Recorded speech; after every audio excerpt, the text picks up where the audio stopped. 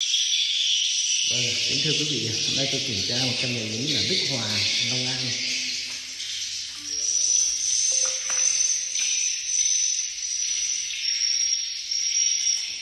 Nhà này à, làm từ lam bê tông, lam bê tông và làm lại.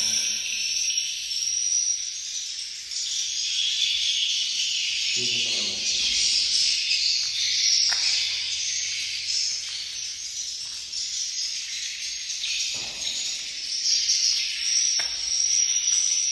đều đều xin lỗi anh hết ngày càng có tiền xin lỗi. Hết